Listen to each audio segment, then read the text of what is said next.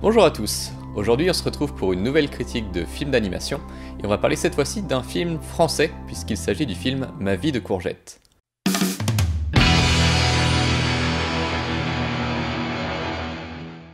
Alors, Ma vie de courgette, c'est un film d'animation français réalisé en 2016 par Claude Barras. Le film pourrait être considéré comme un film d'animation indépendant, mais il faut savoir qu'il a été relativement bien distribué en France et que donc on a quand même pas mal de personnes qui ont pu avoir l'occasion de le voir euh, en salle ou même plus tard en Blu-ray puisque depuis il est sorti en DVD, Blu-ray, tous les supports que vous voulez.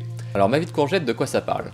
En fait le film parle d'un petit garçon, donc Courgette, en tout cas c'est comme ça qu'on le surnomme parce que c'est pas son vrai nom, qui au début du film vit chez sa mère qui ne le traite pas très bien puisque elle est alcoolique et on suppose qu'elle bat probablement ses enfants. Et donc suite à un événement que je ne vais pas vous expliquer ici, il se retrouve à vivre en orphelinat euh, avec d'autres enfants de son âge qui ont chacun un peu leurs problèmes. La majorité du film va se passer dans cet orphelinat où on va suivre euh, Courgette et les autres enfants se lier d'amitié ou au contraire avoir des problèmes entre eux, des problèmes avec les adultes. Et donc ça va être un peu cette interaction entre euh, des enfants très jeunes qui ont chacun une vie très difficile et ces adultes qui ne savent pas forcément comment gérer ces enfants-là ou qui ne savent pas forcément quoi faire même si euh, on voit que la majorité de l'orphelinat a une bonne volonté. Euh, c'est pas du tout l'orphelinat cliché qu'on peut voir dans certains films où les enfants sont maltraités. Là, au contraire, c'est beaucoup plus réaliste, ou en tout cas, je suppose que c'est beaucoup plus réaliste, j'espère.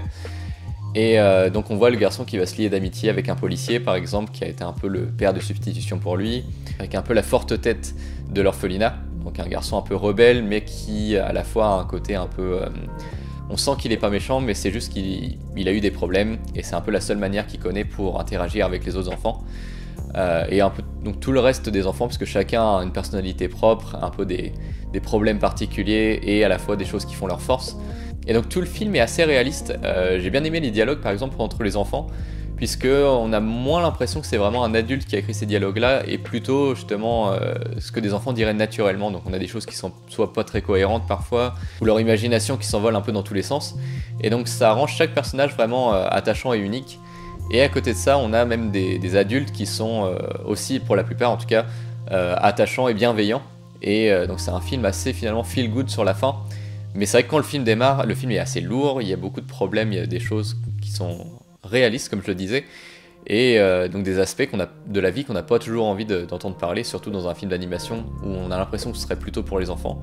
Euh, le film est assez dur par moments, même si euh, je pense qu'il est visionnable par un public assez large, mais par exemple pour des enfants en, bas âge, ils vont pas trop comprendre ce qui se passe, et ça s'adresse plutôt donc à des enfants, je dirais, d'à peu près 6 à 8 ans, à partir de cet âge-là, où ils sont suffisamment matures pour comprendre ce qui se passe, même s'ils comprennent pas forcément toutes les implications. Au niveau de l'animation, c'est du stop motion, donc euh, des sortes de figures animées. Euh, je ne sais pas si c'est de la claymation, donc euh, en pâte à modeler, ou si c'est d'autres médiums qu'ils utilisent. en tout cas, c'est très propre. À ce niveau-là, on sent que vraiment il y a une, certaine maîtrise. même au niveau des designs des personnages, ils ont chacun leur design reconnaissable facilement, ce qui est toujours un bon point dans un film d'animation. Ce que je reprocherais au film, par contre, c'est qu'il a quand même ce côté très un peu film d'auteur français cliché par moment, ou film d'animation indépendant cliché. C'est-à-dire qu'il y a des plans par exemple qui finissent et qui s'étirent, qui s'étirent. C'est-à-dire plus rien ne se passe à l'écran, mais le plan continue. Et donc ça casse vraiment le rythme, je trouve, par moment, surtout vers le début du film. Moi, c'est là où je l'ai le plus remarqué. C'est que du coup, il y a un rythme assez lent et un peu euh, en saccade, où on va avoir un plan où il se passe pas mal de choses rapidement, et après ça ralentit, et ensuite ça repart sur le plan d'après. Même au niveau des thèmes, c'est aussi euh, des thèmes assez, euh, assez tristes. Le film, surtout la, première moitié, est un peu, peut être un peu déprimant. Euh, donc ça c'est un peu le cliché aussi des, films d'auteurs français euh, parfois, donc le film un peu déprimant où il se passe rien avec pas de musique d'ambiance. Donc ça ça peut peut-être rebuter certaines personnes au début, mais moi-même qui suis pas fan de ce genre de film, euh, là j'ai quand même réussi à surmonter ça et à suivre le film jusqu'au bout et j'ai pas regretté parce que le film dans l'ensemble est une bonne surprise. Donc voilà, ce qu'il faut savoir c'est que si vous cherchez un dessin animé à faire voir à vos enfants ou si vous-même vous voulez un dessin animé assez léger sur un ton un peu fun, ça va pas être le film pour vous.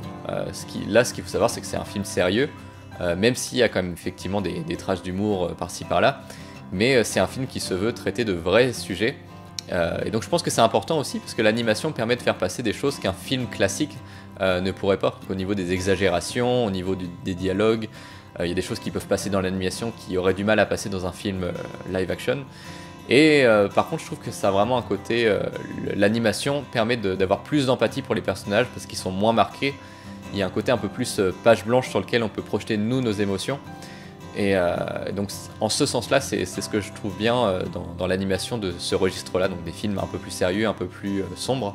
Et si vous êtes passionné de stop motion ou ce genre de technique, c'est aussi un film qui est vraiment intéressant, surtout pour une production française, ou en tout cas européenne, puisque c'est un partenariat entre la France, la Suisse et peut-être même encore d'autres pays. Donc voilà, c'est un film qui change un peu, c'est assez différent de ce que j'ai pu faire sur la chaîne jusqu'à maintenant. Mais si vous vous sentez prêt à vous lancer dedans, je vous le conseille vraiment, parce que c'est un film qui a son intérêt et je trouve que c'est important aussi de mettre en avant ce genre de cinéma là qui n'est pas forcément le cinéma d'animation auquel tout le monde est habitué. Alors voilà, ça conclut cette critique de Ma vie de courgette et donc je vous conseille d'aller le voir si vous avez l'occasion. Euh, il est sur certains Netflix, mais je ne crois pas que c'est sur Netflix en France, mais il est disponible en Blu-ray, il est disponible en DVD, etc. Et nous on se retrouve la prochaine fois pour un nouveau film d'animation.